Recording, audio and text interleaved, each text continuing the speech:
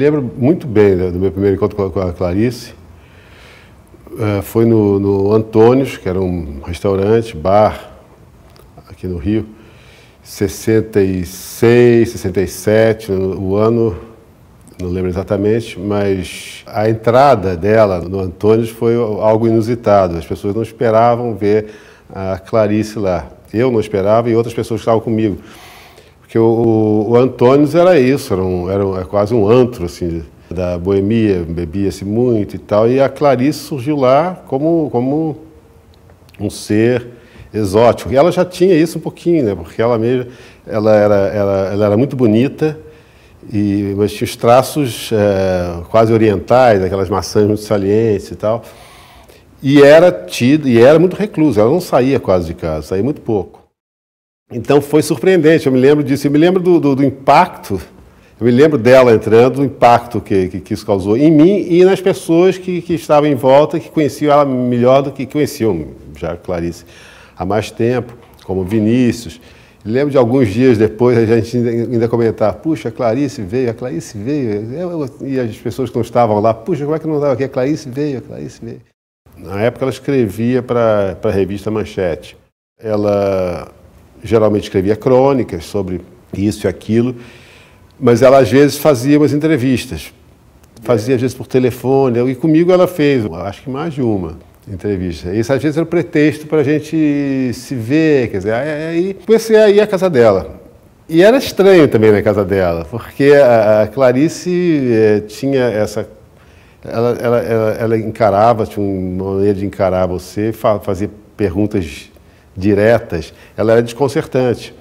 Então, às vezes acontecia eu ir à casa dela e ela dizer coisas, perguntar coisas, depois ela sumia, deixava sozinho na sala.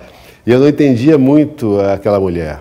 Ela tinha assim, uma espécie de, uma, uma afeição quase maternal, assim. Eu tinha impressão que ela me, me considerava um garoto desamparado, perdido ali naquele bar. Eu tinha realmente 22 anos, coisa assim, e inspirei alguma coisa, algum sentimento paternal nela, talvez. Imagino que sim.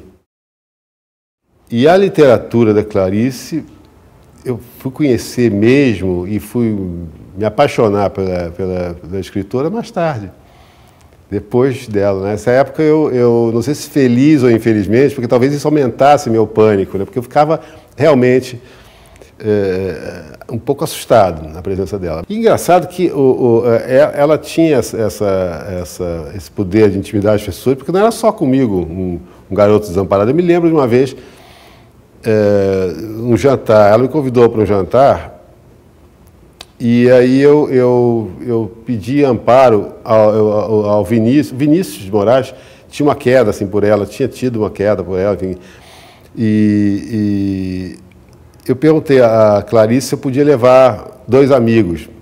Eu estava no Antônio, para variar. Esses dois amigos eram, eram Vinícius de Moraes e o, e o, e o Carlinhos de Oliveira. Aí ela falou, não, pode trazer sim. Preciso jantar, Pode trazer sim, mas, mas eu já vou avisando que aqui não tem bebida, na minha casa não tem bebida e tal. Então a gente tratou de beber antes tudo que podíamos para ir jantar na casa de Clarice. E ali é, ficamos lá os quatro conversando e a conversa não fluía muito. Aí eu percebi que não era só eu. O próprio Vinícius ficava um pouco intimidado diante dela, né? E o, e, o, e, o, e, o, Carlinhos também e tal. E o efeito da, do uísque foi passando e nós ali conversando, banalidades, não lembro o quê, mas enfim, nada de especial. Passando o tempo, passando. Chegou uma hora, já era meia-noite e tal. Aí ela fez menção assim de, de, de, que já era tarde, fez menção de se retirar, de se recolher. E nós, bom, então boa noite, ele foi embora. Não houve jantar. Ela convidou para o jantar que não houve.